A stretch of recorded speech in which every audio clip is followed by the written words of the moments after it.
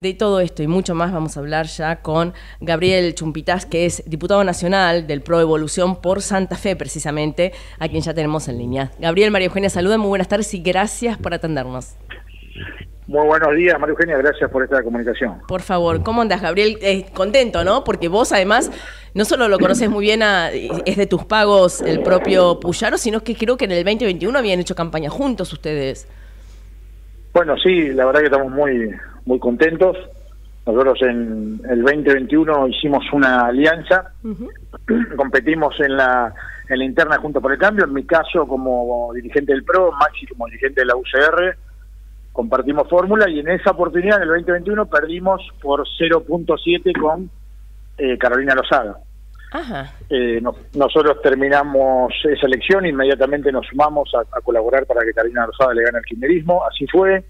Y continuamos en nuestro proyecto, que, viene de mucho tiempo, de, encarar la gobernación. Y bueno, y hoy, con un número realmente abrumador, aplastante, ganamos de interna a Carolina y, hoy en fila a Maximiliano para ser el próximo gobernador de la provincia de Santa Fe. O sea que, digamos que en el 2021 se puede decir que tenían una buena relación con Lozada, ponele. Bueno, eh, tuvimos una, una interna, obviamente, de cuatro listas. Nosotros en aquel momento, cuando arranca la, la elección, íbamos últimos cómodos. Empezamos a remontar y terminamos apenas 0.7 eh, abajo. Perdimos e inmediatamente nos pusimos a disposición y empezamos a recorrer la provincia junto a Carolina, ya que teníamos una muy buena relación. ¿Y qué pasó que se dio vuelta? Porque fue increíble, o sea, yo lo, escuché a, a, Maxi Puyaro en estos días tratar de bajar decibeles y bueno, no, en realidad tergiversaron algunos dichos de Carolina Rosada está lleno de, audios de Lozada llamándolo narco a Puyaro, lo cual también te da la prueba de que por esa vía no se gana, sino todo lo contrario, pero una violencia importante. Yo creo que fue un error el, la estrategia de campaña de Carolina mm. y en contraposición a una campaña realmente muy diseñada y muy pensada como la de Maxi Puyaro, sumado a las condiciones de Puyaro como candidato y como dirigente. Puyaro hace 30 años que viene recorriendo la provincia en distintos eh, en distintos estamentos, eh, desde el ámbito privado hasta el ámbito público como diputado, inclusive cuatro años como ministro de Seguridad entre 2015 y 2019, con lo cual el conocimiento del territorio y el conocimiento de, la política de, Santa Fe es ampliamente superior al de Maxi Puyaro, y a eso sumado a toda una estructura que fue armando en estos más de 20 años, que está compuesta por 150 intendentes, 6 senadores y 11 diputados provinciales. Esa estructura se volcó en, la, en las urnas en la elección y realmente hizo la diferencia que, tuvimos a favor. Ahora, ¿cómo se hace para trabajar juntos de aquí a la elección de gobernador con alguien que eh, directamente insultó al, al candidato? ¿Cómo se hace?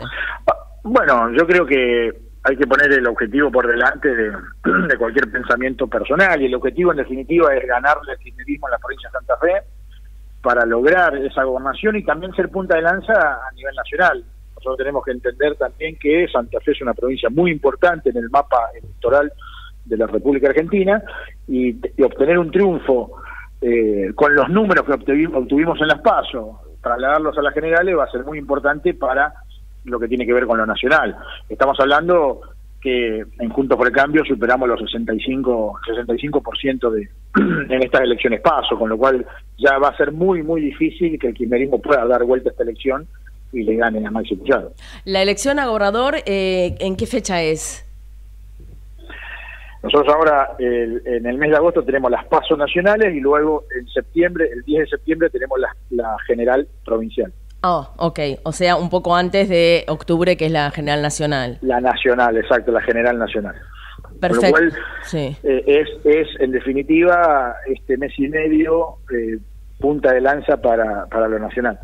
Y en definitiva es un poco lo que el votante de Juntos por el Cambio en la provincia de Santa Fe, muy allegado a la agroindustria, muy allegado al sistema productivo, está esperando de, Juntos por el Cambio a nivel nacional. ¿Coincidís con el diputado López cuando dice que, que imagina un eventual gobierno de Bullrich eh, terminando como de la Rúa?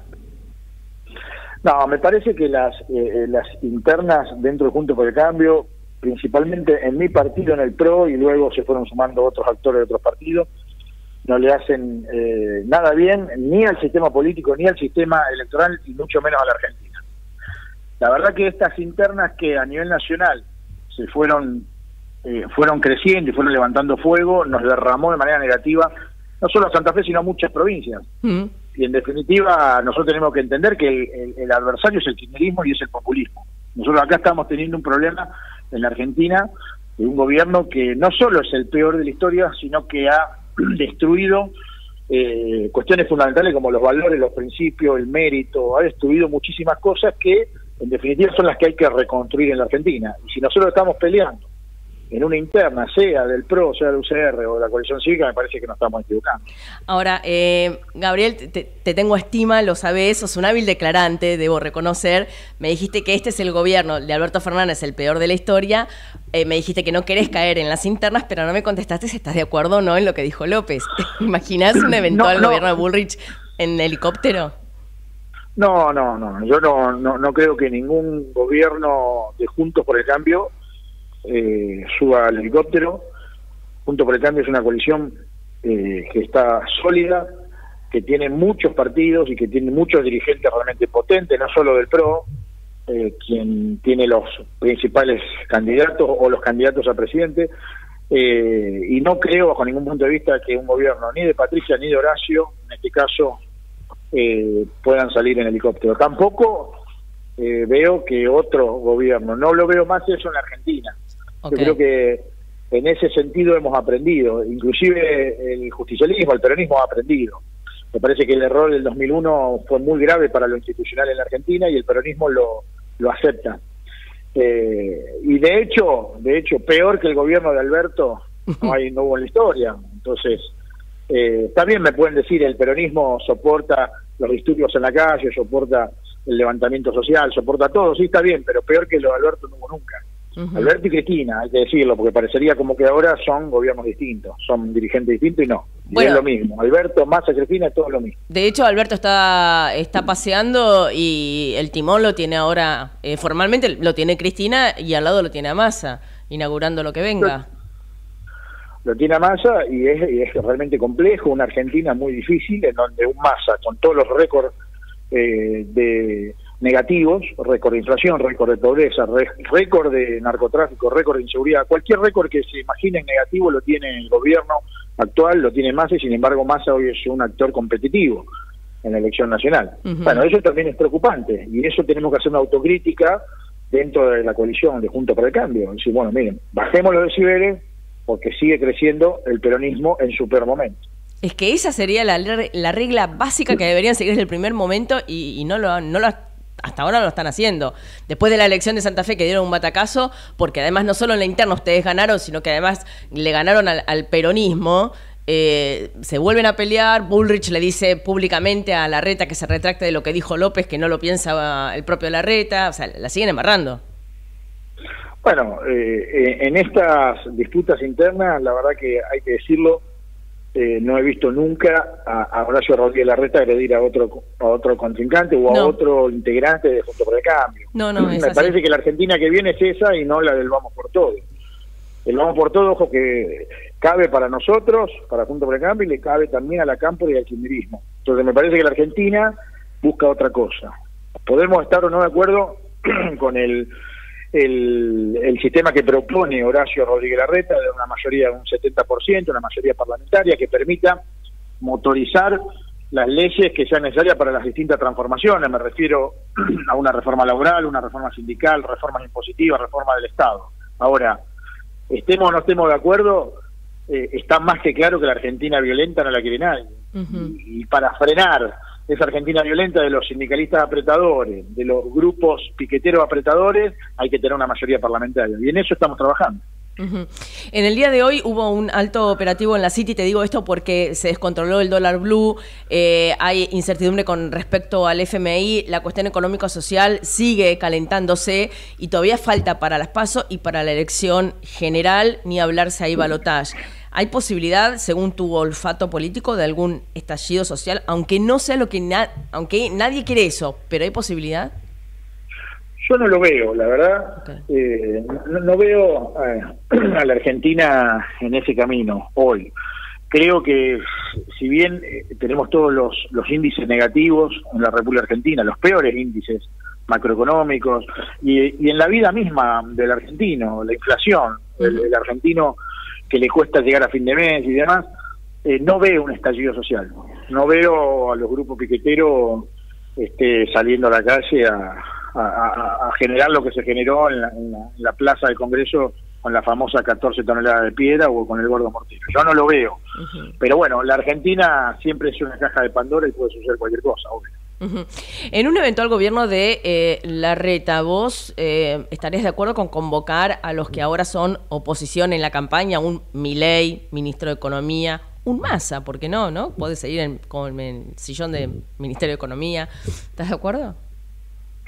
Yo creo que los acuerdos deben ser parlamentarios. Eh, quien gana conduce, se pueden citar obviamente y convocar al diálogo a distintos actores, pero me parece que la la clave en un futuro gobierno está en el Parlamento.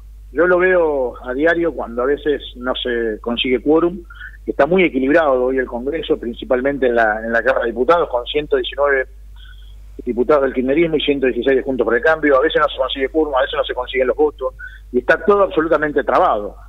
Evidentemente que si nosotros logramos destrabar eso, logramos tener eh, eh, alianzas o acuerdos que permitan generar esos cambios que te mencionaba anteriormente, va a ser mucho más posible que el gobierno pueda avanzar y obviamente que la gobernabilidad va a ser un hecho y no simplemente una frase. Ahora, convocar este al kirchnerismo, eso yo creo que es casi imposible porque en definitiva hay una cuestión ideológica que, que está en contra de las cuestiones que nosotros planteamos y nosotros en contra de las cosas que planteé yo. Básicamente, respetar la constitución, el respeto a la propiedad privada. Yo no me veo en un gobierno con Grabois usurpa terreno y que ocupa una calle. Yo no lo veo. Quizás otro integrante junto por el cambio podría verlo, no lo sé. Bueno, Grabois tampoco se ve uno con más, aparece, ¿no? Y está en la interna. es un problemita. Parece que no. Es de diván ya algunas cosas, es para un psiquiatra, no esta especialidad. Es Una, Argentina convulsionada. Ese, ese, es complejo. Bueno, Gabriel, como siempre te agradezco un montonazo que me hayas atendido y que tengas una buena jornada. ¿eh? Bueno, muchas gracias y les dejo un fuerte abrazo. Muy amable. Era el diputado Gabriel Chumpitaz, diputado nacional del Pro Evolución de Santa Fe, Rosario, el hombre, que lo conoce muy bien a Puyar, hicieron campaña del 2021, son los dos de, los mismos pagos y, bueno, dando una pincelada de lo que fue por un lado este triunfo en la interna en Santa Fe de este domingo y por otro lado lo que se viene, que son que es el camino más arduo, faltan elecciones y es también recomponer un país.